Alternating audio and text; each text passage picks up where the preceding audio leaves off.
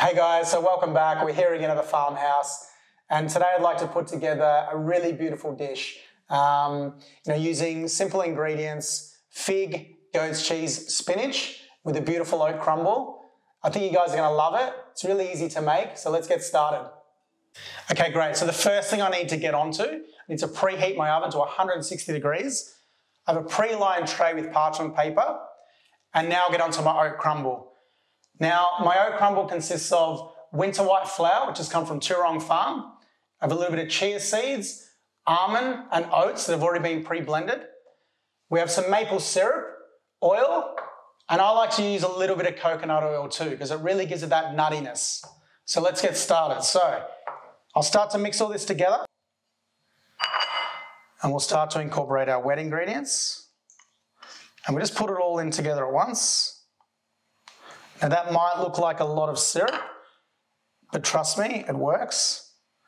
And the coconut oil.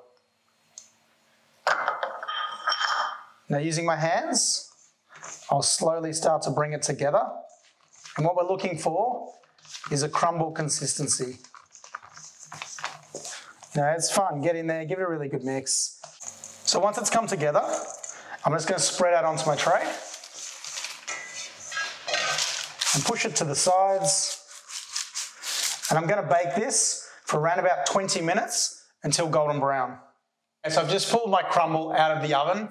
It's beautiful golden brown, smells delicious. I'll set that aside to cool and I'll start to get onto my figs. So I'll be using two. I'll cut the top off, put a little cut in the top, and I like to open the figs up with my hands. It gives it that more sort of rustic look. I'll add it to my bowl. We get a little bit of this beautiful organic spinach. Now I'm going to dress it. So this is vincotto from last year that we've made from our figs. And we'll just add a tiny little drizzle of that. And again, this is a little bit sweet, so you don't want to add too much a little bit of olive oil. And I'm just going to finish off with this little bit of goat's cheese, okay? So really creamy, really, really sort of good flavor. Now I'll just gently start to mix this with my hands to make sure that all the leaves and the figs get that beautiful dressing. Okay, so now I've finished dressing the salad it's time to plate up my dish. So I'll grab a little bit of the oat crumble and I'll just put it in the middle of the plate. I'll start to spread it out a little bit. We'll get a little bit of the fig jam. Now this is really beautiful product. We've made it here at Polperro. It has a little bit of Earl Grey tea and raspberry vinegar. And the raspberry vinegar just sort of cuts through um, the sweetness of the jam. So I'm gonna put a little bit of the dollop around the plate. Now don't be shy. I think use quite a bit because it's very tasty. We'll start to put a little bit of the, the spinach. Again, just quite randomly.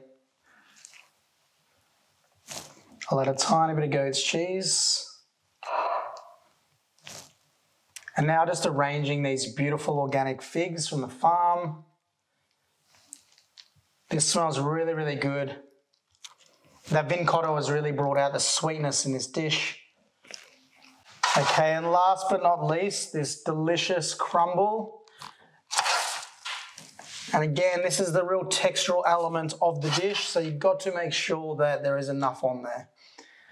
And there you have it. Okay guys, so there you have it. My beautiful fig, spinach, oat crumble, and goat's cheese salad. Now the thing I like about this dish is that you can either have it by itself or you can enjoy it as a side dish. Now, the thing that I'm going to do today is I'm going to match it with a Pinot Gris.